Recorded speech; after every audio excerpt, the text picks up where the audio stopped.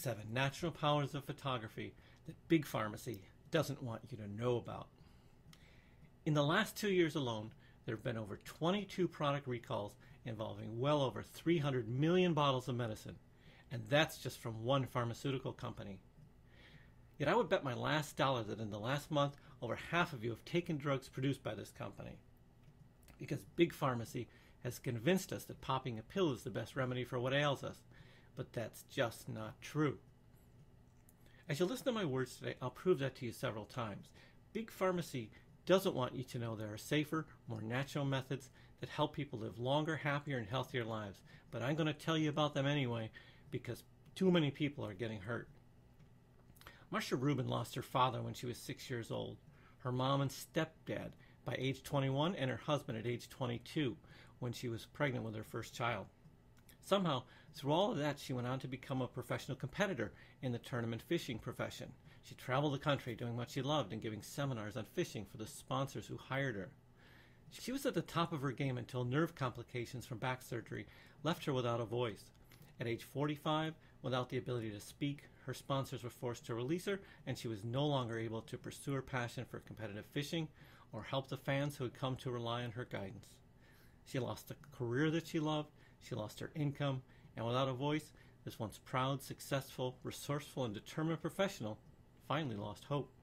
For the first time in her life, Marcia was lost, isolated by her silence and deeply depressed. But this isn't a story about hardship and despair for Marcia Rubin. It's not a story about fishing either. This is a story about triumph and about the natural therapeutic powers of an activity that's as likely to be associated with medicine as kittens are to the steel industry. Photography is most often considered an art. There is no apparent connection to medicine. And that's exactly what Big Pharmacy would like you to believe.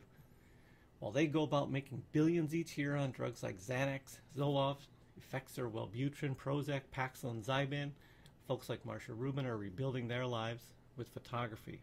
Marcia loved the outdoors. That's what drew her to fishing in the first place. She loved people, and that's what drew her to offering seminars. But because she could no longer talk, she found herself trying to avoid people. So she would take her camera and head out to some nature areas for taking photos. It was a great way for her to pass the time while waiting to see if the nerve damage would heal.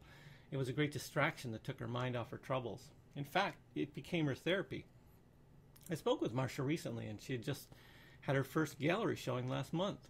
Yes, I actually did speak with her. She has a vocal implant now and speaks very well.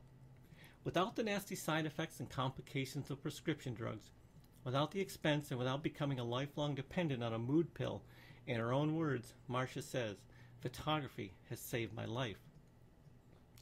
Patrice lost her life too when an aging brother became invalid after surgery and required her care. If you've ever had to care for a loved one who can't care for themselves, you know how demanding that can be. You know the feeling of being trapped in a situation you can't control. But she didn't turn to antidepressant drugs. Photography became her therapeutic escape and is now becoming a second income stream for her too. The National Institutes of Health say that one in four American adults over the age of 18, one in four adults, suffer from a diagnosable mental disorder in any given year. I know I'm not affected, so look to your left and then look to your right. In America, this great land of freedom and opportunity, one in four adults suffer from mental problems. Big Pharmacy wants us to believe drugs are the answer. But if drugs are the answer, and we have the drugs, why in the world are women aged 40 to 65 the group most likely to commit suicide? There's a disconnect. Something's not right. The truth is, Big Pharmacy is not the panacea for depression.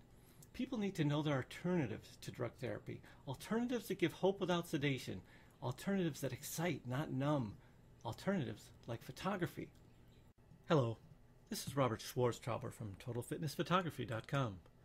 You've been listening to one small sample from the Photography versus Pharmacy report.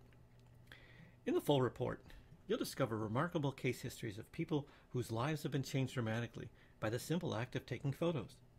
You'll learn how photography helps fight depression, boredom, lethargy, chronic pain, low self esteem, isolation, and it helps those who are overweight lose weight naturally, without drugs.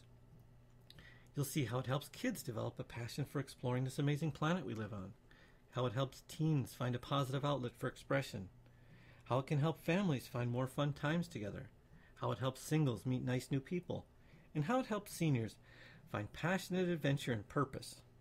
It can make retirement one of the best times of your life. You'll see startling statistics from my recent study of over 100 photo enthusiasts. If you've been looking for a safe, risk free, drug free, positive change in your life, you owe it to yourself to get the full report. You'll be amazed at how many ways photography could change your life in a flash. The report is free, and you can get your copy now at robertsphotonews.com.